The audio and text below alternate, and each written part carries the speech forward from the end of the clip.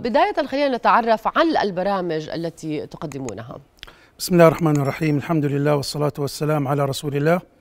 بداية نقدم لكم الشكر الجزيل على هذه الاستضافة للحديث عن المراكز الصيفية لتحفيظ القرآن الكريم في التي جرت العادة في وزارة الأوقاف على إطلاق هذه المراكز منذ سنوات طويلة. وحقيقة كانت الأعداد في المراكز الصيفية تتجاوز ال 120 ألف طالب وطالبة في كل عام. لكن بسبب ظروف كورونا في العام الماضي كانت المراكز الصيفية عبر الأونلاين.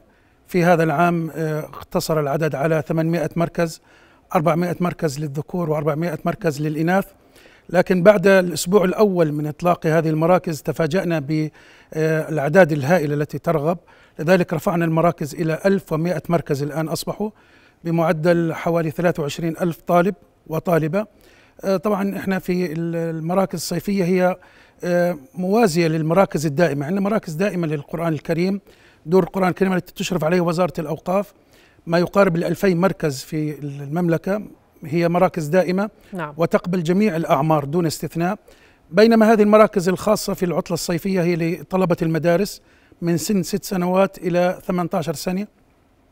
تم إعداد برنامج خاص تم إعداد دليل خاص ومنهاج خاص لهذه المراكز. طبعا نحن في هذه المراكز نعلم القرآن الكريم الحديث الشريف التفسير أيضا بعض المسائل الفقهية التي يحتاجها الطالب في مثل هذا العمر من أحكام الطهارة أحكام الصلاة. أضفنا أيضا الثقافة الوطنية. ذلك لأن المراكز إحنا في كل عام نطلق عليها يعني شعار ولها شعار.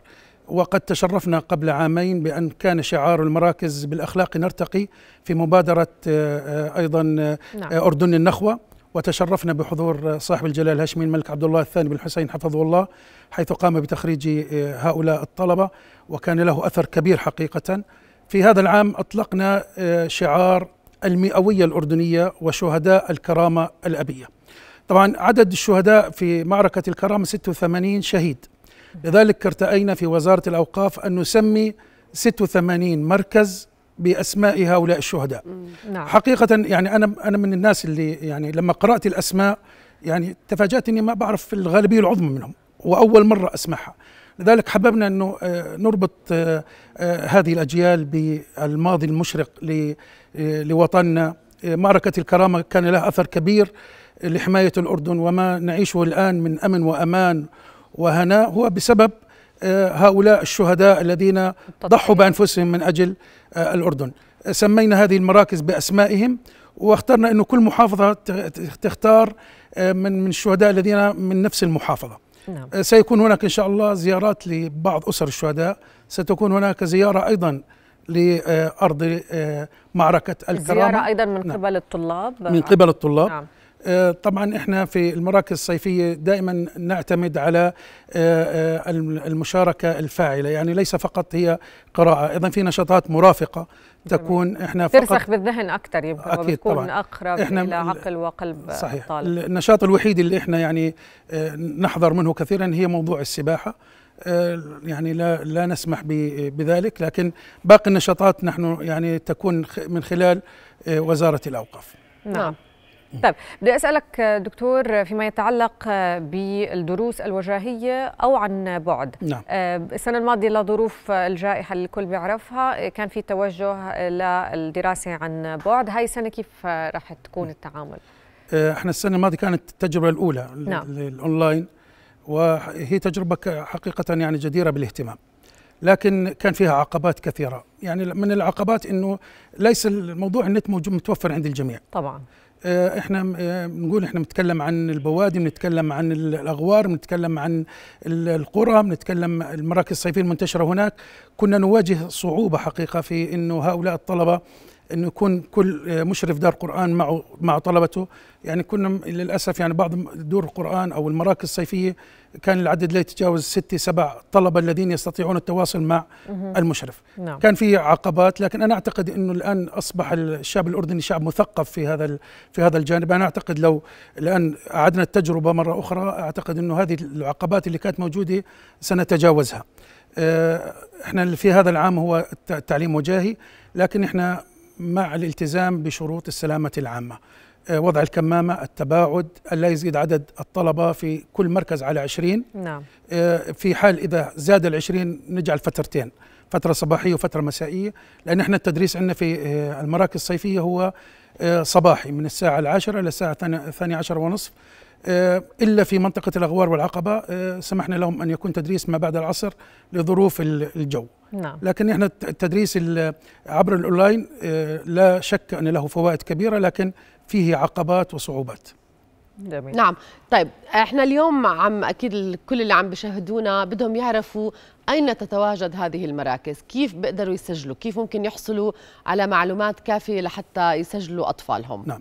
هو إحنا حقيقة قبل ما نطلق البرامج المراكز كنا قد أعلنا عن بداية المراكز الصيفية وكان هناك في رابط آه، يتواصل معه الأهالي لتسجيل أبنائهم وبناتهم آه، أيضا هناك تسجيل في نفس المراكز إحنا في إعلان في. إحنا المراكز كلها في المساجد في نعم. صحن المسجد آه، إعلان من خلال خطيب المسجد عن أنه هذا المسجد فيه مركز لتحفيظ القرآن الكريم.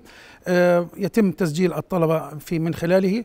آه، طبعا إحنا عندنا في جميع المحافظات بلا استثناء. نعم. وزعنا 800 مركز بالعدد على كل المحافظات وطلبنا من كل مدير أوقاف لأنه في كل محافظة أو كل مديرية أوقاف هناك لجنة أيضا برئاسة مدير الأوقاف آه، تشرف على المراكز في آه، المحافظة.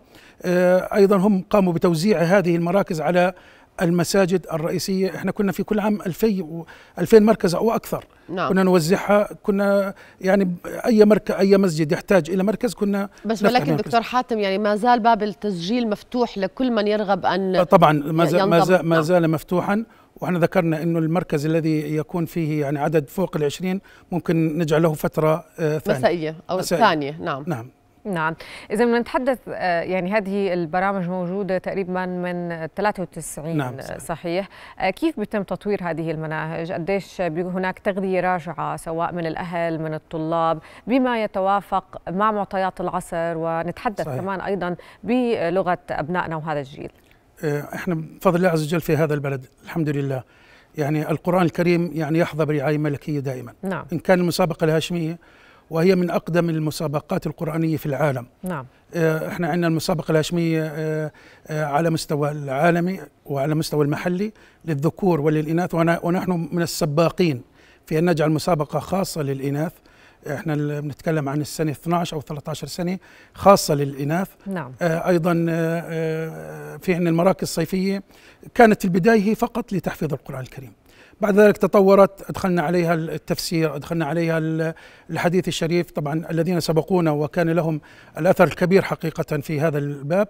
نعم. حتى وصلنا الآن إلى أن عددنا منهاجا خاصا منهاج آه، يكون مع مشرف دار القرآن الكريم أو مشرف المركز الصيفي آه، يعلم منه من خلاله آه، الطلبة نعم. أيضا في عندنا إحنا في فرق تم تجهيزها من وزارة الأوقاف من خلال مديرية الأوقاف للمتابعة وللتدقيق على هذه المراكز يعني إحنا نهتم في موضوع الإجراءات السلام العام حقيقة بداية للحفاظ على أبنائنا وبناتنا أيضا لتطبيق هذا المنهاج كما هو قد خطط له نعم. آه، آه، أيضا هناك عندنا كان فيما مضى بعض المراكز آه، يعني تعطي جوائز المشاركه في رحلات العمرة نعم. بعض المراكز كانت تعطي جوائز قيمة جدا إحنا في نهاية المراكز هناك في طبعا تخريج سيكون على مستوى بسيط نعم. أيضا لموضوع كورونا في عندنا في كل مركز سيكون تخريج للطلبة. آه، سيتم تكريم الثلاثة الأوائل من كل مركز. نعم. آه، وزارة الأوقاف ستوزع شهادات على جميع الطلبة الذين شاركوا في هذه المراكز. نعم. ذكورا وإناثا. شكرا جزيلا دكتور حاتم وإن شاء الله كل التوفيق لكم خلال فترة الصيف. شكرا لكم وشكرا لهذا الاستضافة المباركة. بارك الله فيك. معنا. شكرا. يعطيك ألف عافية.